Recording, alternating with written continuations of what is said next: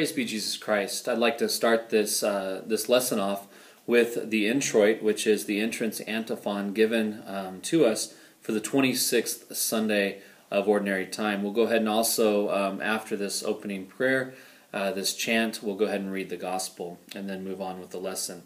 So this is taken from Philippians 2, uh, verses 10, 8, and 11.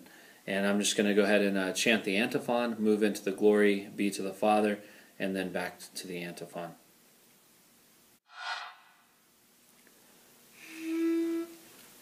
In the name of the Father, and of the Son, and of the Holy Spirit. Amen. At the name of the Lord, let every knee bend, in heaven, on earth, and under the earth for the Lord became obedient unto death, even death on the cross.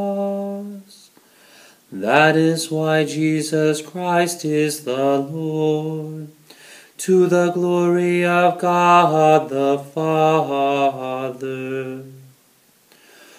Glory to the Father and to the Son and to the Holy Spirit, as it was in the beginning, is now, and will be forever. Amen.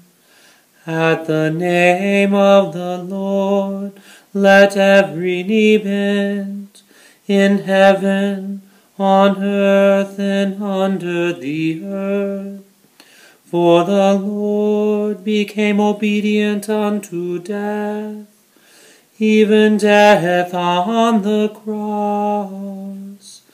That is why Jesus Christ is the Lord, to the glory of God the Father. In the name of the Father, and of the Son, and of the Holy Spirit. Amen. Now, as uh, we move in just with this lesson, I'd like to um, read the gospel. This is uh, a gospel from Matthew, uh, chapter 21, verses 28 through 32. Jesus said to the chief priests and elders of the people, What is your opinion? A man had two sons. He came to the first and said, Son, go out and work in the vineyard today. He said in reply, I will not. But afterwards he changed his mind and went. The man came to the other son and gave the same order. He said in reply, Yes, sir, but did not go. Which of the two did his father's will? They answered, The first. Jesus said to them, Amen, I say to you, tax collectors and prostitutes are entering the kingdom of God before you. When John came to you, in the, way of, in the way of righteousness, you did not believe him, but tax collectors and prostitutes did. Yet even when you saw that, you did not change your minds and believe him. The Gospel of the Lord. Praise to you, Lord Jesus Christ. Um, so, with this lesson, I want to go ahead and look at uh, the sons here. I want to start, though, with, with, uh, with the reality, of course, um, for there to be a son, there must be a father. And, and the father that we're speaking of here in this gospel that Jesus tells of us, there's two sons. So we're going to put down son one and son two. And son one, uh, the father asks something of him, and he says no. With his words, he says no, but then he says yes with his action.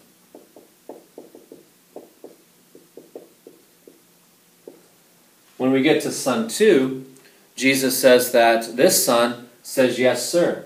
So he has a yes with his words, but then with his actual action, he has a no. He does not do the Father's will. Now, when we look at these two sons, uh, the question that Jesus is, is asking is which of these sons, son 1 or son 2, actually did the Father's will?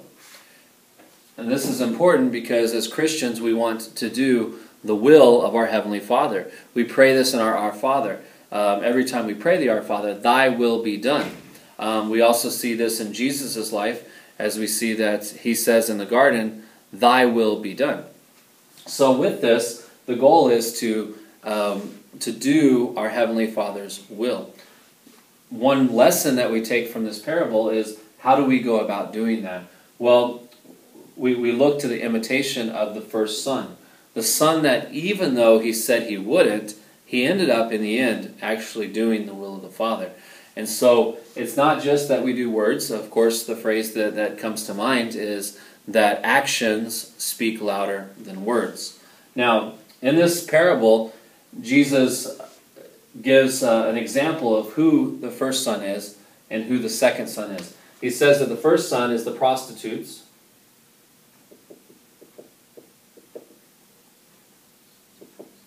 And, and also the uh, tax collectors. The second son, he says, are the, are the chief priests and the elders. So when he makes this connection, he says, he makes the connection that the prostitutes and the tax collectors, um, they, they said no. They, they weren't interested in following God. But when they heard the words of John the Baptist, they had a change, they had a conversion. Um, and so, what we see with this group, we see that this is the category, but what we see is a change. That's real important, that there's this change here. Um, with this group, however, we see um, in, in, the Son 2 group with the, the chief priests and the elders that it says actually, um, I'll, I'll read back at the gospel here, it says, Yet even when you saw that, okay, so when you saw John the Baptist, and when you saw the conversion of prostitutes and tax collectors, even when you chief priests and elders saw this change, you did not change your minds and believe. You did not change. So, this group did not change. They stayed um, in their disbelief. Um, you know, they, they stayed in judgment of this group. And that, that's also a lesson to us. Many times when we see uh, sinners that, that maybe are in habitual sin, they're living uh, lifestyles that are not according to Christ and His church, um, and maybe they've been doing this for repeated uh, repeated years. You know, once they change, once they have a conversion experience, how many times do we look at them and we're not inspired at all? Um, and we should be uh, have great joy like the angels um, just when, when one sinner repents, how the angels are rejoicing, but yet we stand as the second son and look over here and we're not happy. We can't join in, in their joy. So we really should, um, when those that are, that are converting and when we ourselves should always be in conversion, that should bring us great joy. Um, I want to talk a little bit about this group, the tax collectors. And, and, and this is a group that, as we've heard in other parables that Jesus says, Jesus uses this group a lot. And the tax collectors, we have to remember, were, were people that have sold out to their people. So, Jewish people. Um, the Jewish people were occupied by the Romans, so the Romans were oppressing them. And the Jewish uh, tax collector was a Jew that had sold out their own people. They, they worked with the Romans, uh, they gathered enough money that the Romans required. They would give that to the Romans. And then on top of that, they could take whatever they wanted for themselves. So we see that Zacchaeus um, was was a was a tax collector, and, and maybe possibly one of the, the most famous tax collectors that we know of is Saint Matthew. Um, so these were people that, that maybe they had to give the Roman government thirty dollars, but they would charge fifty. They would pocket the twenty and give the thirty to the Roman government. So the tax collectors uh, are a, a, group of people that are hated. Um, and for them to convert makes this, this group very angry because this is the group that has, has said, Yes, yes, yes, I will do everything right, but then they're not doing everything right. Um, Jesus would call them whitewashed tombs. On the outside, they're saying yes, but on the inside, they're saying no. Um, and that's, that's also at the heart of this parable. So I, w- I want to share actually just a reflection on St. Matthew. There is a great uh, painting called The Call of St. Matthew. And in this painting, uh, the Holy Father, uh, Pope Francis, has recently um, spoke about this painting because it's one of his favorite. And in this painting, we have St. Matthew who is sitting at table and he's entertaining his guest. And there's food on the table. It looks like they might be gambling a little bit or, or just whatever they are. And he's kind of sitting there. And Jesus walks in to his house. Jesus, the Son of God, walks into the house of the sinner, the house of the tax collector. And as Jesus walks in, we see that he points, and his hand um, is, is pointing to St. Matthew, who is over there at his table. And the hand, actually, if you look at it, and I believe it's Caravaggio that, that does this painting, but the hand looks exactly like the hand from uh, the creation. Uh, I think it's Michelangelo's creation, where God is reaching out. You probably remember it. God is reaching out with his finger, and then Adam's hand is almost pointing, uh, touching. And so, this beautiful reaching out of the Father to touch mankind, um, his creation, and, and bringing this birth to the creation. What the artist wanted to do here is, is show that Jesus Christ is, is the Father and that he reaches out, he points to St. Matthew, and by pointing to St. Matthew and saying, Come and follow me, he is saying, I will make you a new creation. I will give you this spiritual birth. I am your Father. And so um, I want to I want to read now from John's Gospel, and this would have been obviously um, something that Matthew, who did answer that call to follow, would have been there at the Last Supper and heard these words. Um, so Jesus says to, to his apostles at the Last Supper, he says, Let not your hearts be troubled. Believe in God, believe also in me. In my Father's house are many rooms. If it were not so, would I have not told you that I go to prepare a place for you? And when I go and prepare a place for you, I will come again and will take you to myself, that where I am, you also you may also be. And you know that the way where I am going. Thomas said to him, Lord, we do not know where you are going. How can we know the way? Jesus said to him, I am the way, and the truth, and the life. No one comes to the Father but by me. If you had known me, you would have known my Father also. Henceforth, you know him and have seen him.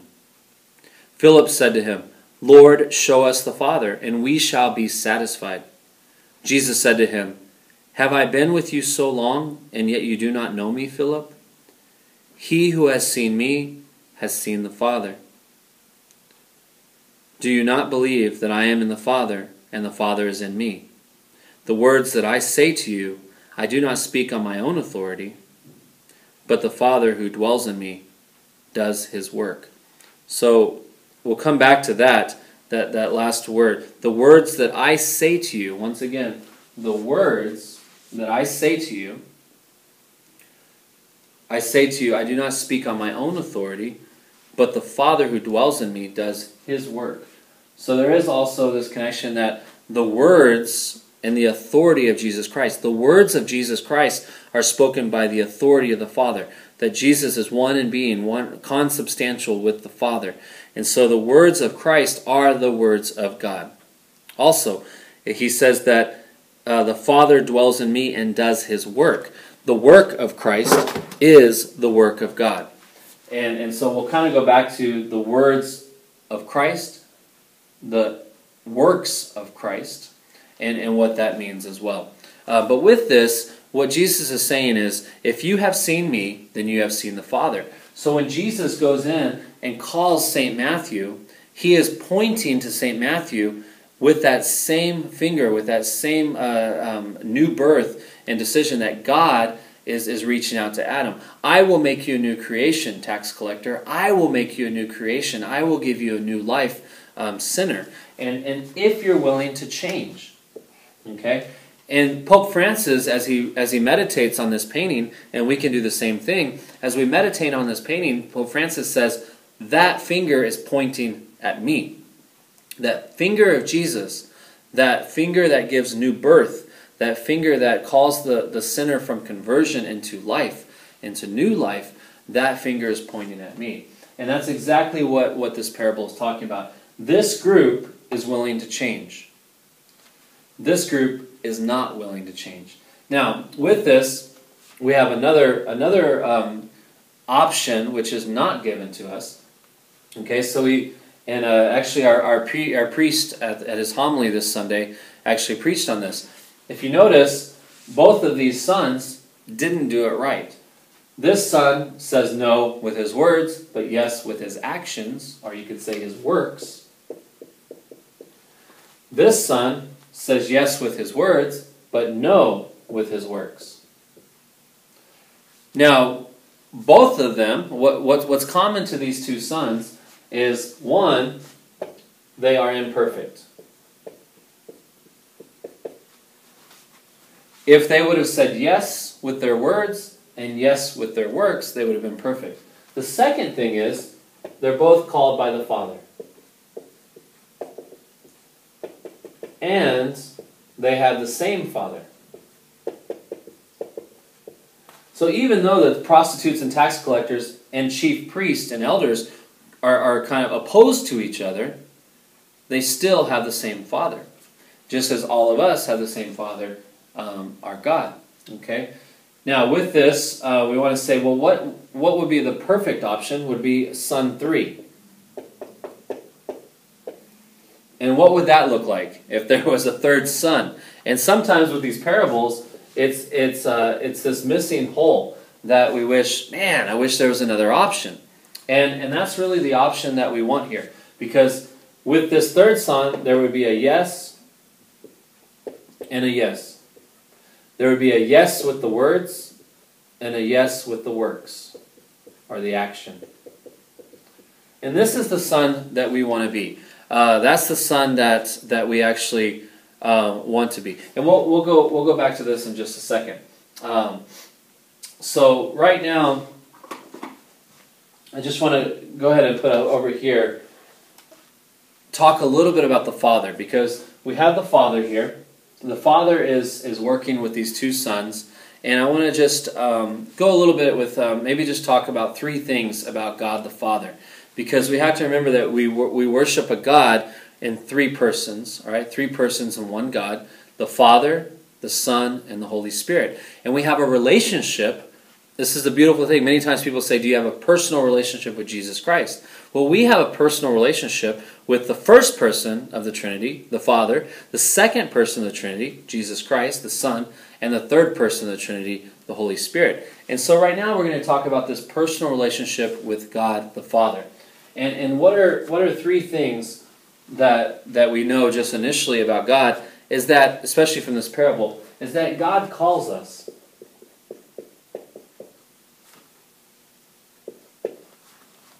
And he knows how we will answer. Isn't this interesting that the Father here, he knows his sons. And especially in this case where the Father is God, he knows his children. The Father knows very well that this son, okay, he knows his personality, and he knows that this son will say no, but probably will do it. He knows that this son will, will say yes, but won't do it. Isn't it interesting that he still asks the sons to do the job, anyways, even knowing what their response will be? He knows that this son will not do his will, but he asks him anyways. Why does God do this? Why does God, even if we know that he might, we, we may disobey, um, that he's going to do that anyways? That, that he's going to ask us anyways. He asks us because he, he wants to give us that free that freedom to choose him. Um, it's similar, I guess. One a good analogy would be if there's a mother baking a cake. Um, th- that the mother doesn't need anyone to help her bake the cake. She can. She's fully capable of baking the cake on her own. Now she may uh, call her daughter into the kitchen and ask her daughter to to help her bake the cake. Now, why would she do that? She doesn't need her daughter's help, but she asks her daughter to help. And the reason she does that is, is really for three reasons. There's probably more, but three main reasons. And that is she wants to share in this experience with her daughter. She also wants to love her daughter, and she wants to teach her daughter. So we see why is the father asking this of the son? He wants to teach, he wants to love, and he wants to share. This is the beauty of God, that, that He does not need us, but He loves us and he, he asks us to participate in His divine life. He asks us to be co workers with Him in the vineyard. Um, another thing about the Father is, you know, we ask the question is, well, well, who is the Father? And this is very, this is very simple. He, he is.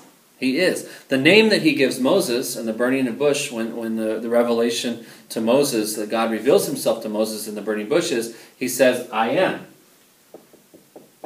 This is also what Jesus refers to himself. He says, I am. And, and so, God, I am who I am, is. All right? How do you define the word is? It just is what it is. Um, so, God exists.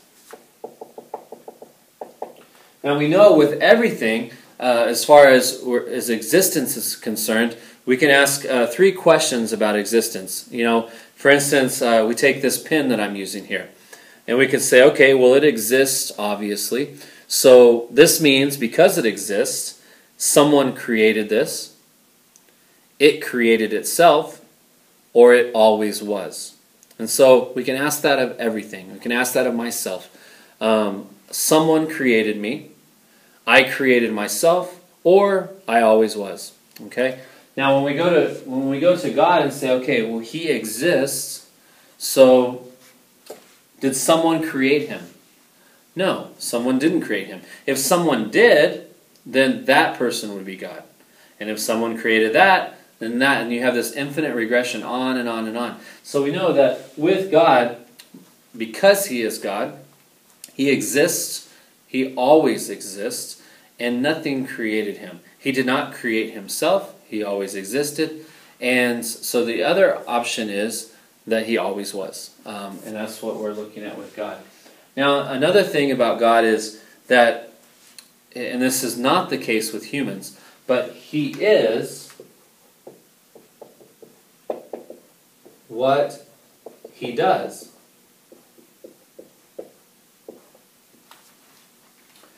This is important. Uh, we can take two, two things here we can take love and knowledge. Okay, the fact of, of knowing and the fact of loving. Now, you would let's just take myself for instance. Um, I'm a human, and I am capable of knowing things, and I am capable of loving. Okay, so Matt is what he does. That, that's not that's not true in the case of um, like when we say God is all loving or all knowing, this means that you know he he is love. God is love. God is all knowing. Um, with me, with humans, for instance, I can know something, and we work so hard to know something. I, I, can I can come to a knowledge of something, but it seems like as much as I struggle to come to a knowledge of something, as soon as I know it, I begin to forget it. So I'm, I never can say that I am all knowing because I'm always learning and I'm always forgetting. So in the case, you could say that Matt knows something, but Matt is not knowledge. Okay? The better example would be you could say Matt is loving, but you can never say Matt is love. With God, we can say God is love, which means his love is perfect and he always loves perfectly. There's never a time in which there's any change, okay, with God. God is all knowing. There is never a time where he needs to know something because he knows everything, and there's never a time in which he forgets anything. So he is all knowing. Okay? Uh, and that's that's important when we get to this other element of God does not change. Okay? What we see with Son 1 is that they change. And this is a good thing because they are becoming more like God as humans, we want to change, and we want to change in the direction that we can become more like God, who does not change. For humans, we want to change and become like the unchangeable God. Okay? With this group, though, they, they do not change. In fact, they refuse to change. By Son 2 saying, I refuse to change, what, what they're saying is, I am like God. Or even, so bold, I am God. They, they think they don't need to change. And, and we should pray, God, please help us understand that we should always be changing, and we should always be changing in the direction towards God. The moment that we say, you know, I don't need any more change, that should be the moment that we're right before God face to face. And even then, He's going to be continually making us better and holier and, and be in that, in that perfection. So, as Jesus says, be perfect as your heavenly Father is perfect. This group is not willing to change, this group is. Okay? Now, let's move to Son 3, which which is really we want to learn lessons from each of these sons, um, and we're gonna we're gonna kind of put a son three into the option, a perfect son. Okay, what can we learn from the prostitutes and tax collectors? We can learn that change is necessary and that we have to be changed. We have to change, even if we have said no, no, no, no, no. I will not serve you, God. It, and then we change and we actually do His will. No matter how many times we have said no to God, we, we can say yes. It is not too late to, to, in our actions, convert our life and to change our life. For this group, how many times do we say, oh, yeah, I'll do it, I'll do it, no problem, I'll do it. I'll go to Mass, um, I'll start praying the Rosary, I'll do Liturgy of the Hours. Yeah, I'm going to do that. But then we don't. And this time we have to also realize that we are not perfect and that we still need God's help. Most of the time in this action, we have the right intention, but we need His grace necessary to move from words to work. It's important. We don't just want to stay at the level of words, we want to move in the intimacy of words to work. We see in a, in a marriage, you don't just want some words, you want an actual work behind that. Um, and we all want that. We want to move from words to works. Now, what we look at when we see this son is, is complete obedience. Um, now, with that, I want to go back to the introit, the uh, entrance antiphon, and I want to read this again from Philippians 2. At the name of the Lord, let every knee bend, in heaven, on earth, and under the earth. For the Lord became obedient unto death, even death on a cross. That is why Jesus Christ is the Lord, to the glory of God the Father. So, for the Lord became obedient. Another lesson from this parable is obedience. This son, even though he said no, was obedient. This son said yes, but was not obedient. This is the perfect son.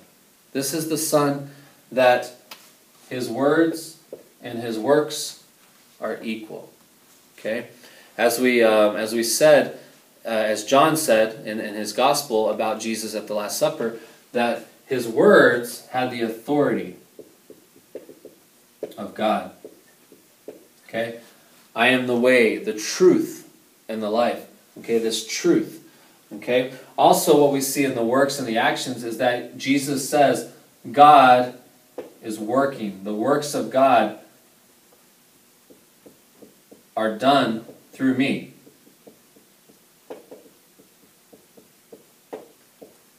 There is no separation, no dichotomy between the words of Christ and the works of Christ. Um, because the very incarnation means that the Word became flesh. Okay? That the Word became flesh, dwelt among us, worked among us worked out specifically the salvation of the world. Okay, um, even even uh, in, in, Philippians we see that Saint Paul says, "Work out your salvation with fear and trembling." Well, what are we doing when we work out our salvation with fear and trembling? We are working out our salvation by connecting ourselves to the holy works of Jesus Christ. We are co-workers with Christ, just as God has called us into His vineyard to do the work of God. Um, so this is the perfect son. This is the son that, that we um, need to conform to so that we can actually say yes to the Father and then actually do his will. That we can conform and obey and say, I will say this to you, I will say yes, give you my yes, and then I will act out that yes. And we can only do that through this Son. We can only do that with through and in Jesus Christ and the grace. The best way to be a son of the Father is to put on Christ, which we do at our baptism, and be connected to the one and only Son, um, Jesus Christ our Lord. In the name of the Father, and of the Son, and of the Holy Spirit.